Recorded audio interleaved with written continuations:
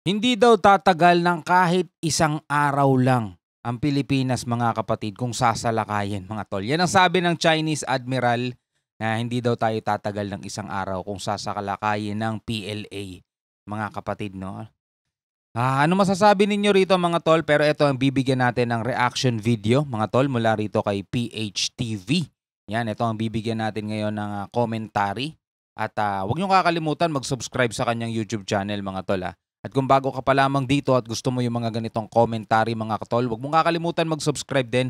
Click mo na rin ang notification bell para ma-notify ka. Huwag na natin patagalin pa, total wala na rin naman tayong hinihintay na, panoorin na natin to. Iniulat na sinabi umano ng isang Chinese admiral ng People's Liberation Army Navy na hindi umano tatagal ng isang araw ang Pilipinas mm-hmm. kung sasalakayin ito ng Chinese military at sinabi na mahina umano ang Armed Forces of the Philippines. Disclaimer lang mga tol ha, hindi natin pinatototohanan o hindi natin pinasisinungalingan ng mga bidyong binibigyan natin ng reaction. Do your own video, uh, do your own research mga kapatid, syempre. Etong reaction natin ay batay lamang sa ating mapapanood. Alright? So tuloy natin to. Sinabi ng commander ng Chinese Navy na si Admiral Liu Chipin na wala umanong kakayahan ang Philippine military na ipagtanggol ang teritoryo ng Pilipinas at hindi umano pagpapawisan ang Chinese military kung aatakihin nito ang bansa. Well, kung tayo lang at uh, walang tulong o walang saklolo mula sa ibang bansa, mga tol, sa tingin ba ninyo tatagal tayo ng isang araw? Siguro naman pwede tumagal pero ang kahahantungan ay same result pa rin mga tol. Kasi totoo naman talaga, hindi naman sa pangmamaliit sa sarili natin mga tol. Kung, uh, oo, meron na tayo mga advanced weapon, pero yung iba dyan, mga napaglumaan ng US, which is hindi na rin naman talaga tatapat yan sa kakayanan nila. Ang lalaki ng barko nila, meron silang mga advanced. Wala nga tayong air-to-surface missile pa ata eh, di ba? So paano natin i-ano yun? I-disrupt yung mga missile na paparating sa kanila. Meron silang nuclear Siyempre, meron silang mga advance na kagamitan, mga tol. Pagdating naman kung sundalo sa sundalo, di hamak na mas marami yung sundalo nila, mga tol. Pero again, mga kapatid, anong masasabi ninyo kung sakasakali mang totoo itong sinasabi nitong admiral na to, mga tol? Sa tingin nyo ba tatagal lang isang, ng isang araw ang Pilipinas, mga tol? Kung sakasakali lang. Comment kayo sa baba. Sinabi niya na limitado lang ang kakayahan at pwersa ng Armed Forces of the Philippines at mahihirapan itong depensahan ang buong Pilipinas kumpara sa Chinese military na kung saan mayroong mahigit sa 2 milyong aktibong personnel. Idinagdag niya na handa umano ang People's Liberation Army Navy na magsagawa ng aksyon kung ipag-uutos ito ng kanilang presidente na si Xi Jinping at hindi sila magdadalawang isip na gumamit ng isang malakas na puwersa upang mapasuko kaagad ang gobyerno ng Pilipinas. Ngunit duda naman ang mga eksperto sa sinabi ng Chinese Admiral dahil alam umano ni President Xi Jinping na mahihirapan ang kanilang bansa dahil sa defense treaty sa pagitan ng Estados Unidos at Pilipinas. Which is true naman. Siyempre, alam naman nila na hindi naman talaga Pilipinas lang ang magiging kalaban nila. Kung ang iniisip nila, sugurin natin ng Pilipinas, total mga Pilipino, kayang-kaya natin sila. Nagkakamali sila doon at palagay, palagay ko, hindi naman sila ganun kaeng-eng para hindi nila isipin yun mga tol. Kasi alam naman nilang nandirito ang US, nandirito ang, uh, ang mga suporta at ng iba't iba pang bansa mga kapatid. No? Hindi lang naman Pilipinas talaga magiging kalaban nila, pati yung UN. Naniniwala naman ang ilang mga analista na malabong magdeklara ng gyera si Chinese President Xi Jinping sa South China Sea o Taiwan Strait dahil alam umano na nasabing Chinese leader na handa ang Estados Unidos at Europa na protektahan ang mga kaalyado nito sa rehiyon. Tama. Alam din nila. Iniulat ito matapos sinabi ni Senate Deputy Minority Leader Risa Hontiveros na dapat umanong magkaroon ng kapangyarihan ang United Nations General Assembly na pagsabihan ang China na mag-behave. Tama. Naglabas ng pahayag si Senator Hontiveros matapos siyang maghain ng isang resolusyon na nag-uudyok sa gobyerno ng Pilipinas na himukin ang United Nations General Assembly na pagsabihan ang komunistang bansa tungkol sa mga ginagawa nitong agresyon laban sa mga Pinoy na mangingista sa West Philippine Sea. Ipinaliwanag ng senadora na habang ang isang resolusyon ng UNGA ay hindi legally binding, ito ay magkakaroon pa rin ng isang mabigat at malakas na political impact dahil ipapakita nito ang paninindigan ng international community. Sinabi rin niya na ang isang resolusyon ng UNGA ay may potensyal na hubugin at i-improve ang mga international na pamantayan magbibigay ng impluensya sa pambansang polisiya at magiging gabay ng iba pang mga organisasyon na nasa ilalim ng United Nations.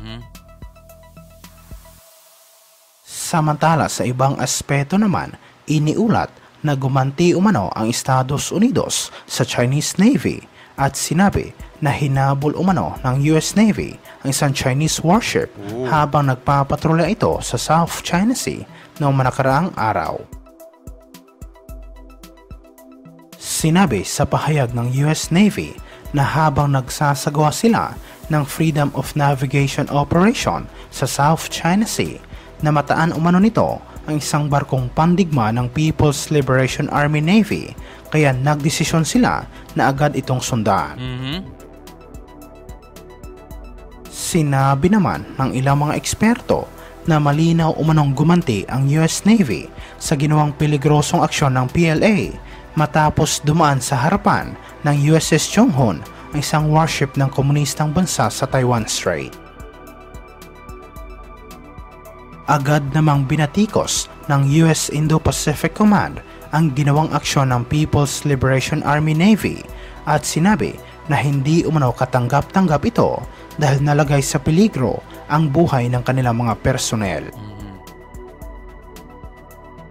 Iniulat ito matapos sinabi ng isang dating opisyal ng US Air Force na hinabol umano ng mga barko ng Chinese Coast Guard at militia ang dalawang Philippine vessel na nagsasagawa ng isang resupply mission sa Ayungin Shoal. Pero ang sabi, hindi naman daw hinabol. Parang binuntutan na sila, nire-regio challenge. Tapos hanggang sa hinarang na sila. Ang mga barko ng Philippine Coast Guard na BRP Malabrigo at BRP Malapascua ay nag-escort sa isang maliit na bangka para sa isang resupply mission sa BRP Sierra Madre nang ma-encounter nila ang isang armada ng mga Chinese militia vessel. Pero mo kung iisipin mo nga dapat wala wala wala tayong makikita na kahit isang Chinese vessel dito sa may bandang Ayungin eh. Kasi napakalayo na talaga niyan sa kanila eh, 'di ba? Dapat nga makikita lang natin yung mga Chi- China Coast Guard nila doon malapit lang sa coastal area nila eh, 'di ba? Pero napakalayo na nila, 'di ba? Dapat mga PCG lang yung mga makikita natin dito. Kung may makikita man tayong barko ng ibang bansa, siguro yung mga malalapit lang talaga, magkakatanawan. Sinabi ni Raymond Powell, isang researcher sa Gorgianas Center for National Security Innovation, na ang dalawang barko ng CCG at pitong militia vessel ay pumosisyon upang harangan ang resupply mission ng PCG sa Ayungin habang ang ibang mga Chinese vessel naman ay nagpapatrolya malapit sa Mischief Reef. Sinabi niya na pagkatapos ng resupply mission, hinabol pa rin ng dalawang barko ng Chinese Coast Guard ang mga Philippine vessel. Ang CCG-3103 naman, nakakarating lang mula sa Scarborough, ay bumalik sa kalapit na military base ng China sa Mischief Reef. Ayon kay Powell, ang China Coast Guard Vessel 3103 ay naglayag ng 650 kilometro mula sa Scarborough Shoal upang tulungan lang ang ibang mga barko ng China na harangan ang mga maliliit na patrol vessel ng Pilipinas. Mhm. Binigyang diin ni Powell na nilabag ng China ang United Nations Convention on the Law of the Sea kahit na ang komunistang bansa ay isang signatory ng UNCLOS. Matagal na nilang nilalabag sa totoo lang. Hindi lang basta-basta ngayon lang, no? Matagal na. Sinabi rin niya na ang China ay isang aggressor sa South China Sea. Mm. Asignatory pa yan ha.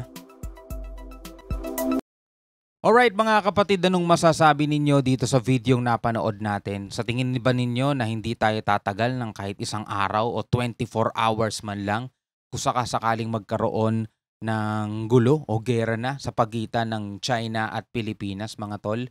Pero alam naman nating malabo pang mangyari yan maliban na lang kung talagang magiinit na itong dalawang bansa. Kasi silang dalawa talaga ang pwedeng pagmulan eh, itong Amerika at saka China. Silang dalawa talaga ang pwedeng pagsimulan madadamay at madadamay lang tayo mga tol. sa, ting- sa tingin ko lang talaga, hindi yung China at Pilipinas ang biglang magsisimula. Hindi, madadamay lang tayo dyan. US at China talaga siguro ang pwedeng magsimula niyan. Pero kung sakasakali man, sa tingin ninyo, gamit ang kung anumang merong sandata tayo, laban sa kung anumang sandata ang meron ng China, sa tingin ba ninyo, kaya ba nating tumagal ng kahit isang araw, dalawang araw, tatlong araw? O tama yung sinabi nung Chinese Admiral na tayo daw ay hindi tatagal ng kahit isang araw man lang. Ano sa tingin niyo mga tol? Comment kayo sa baba, pag-usapan natin yan sa comment section. Hanggang sa muli ako nga pala si Shobal D. Peace out.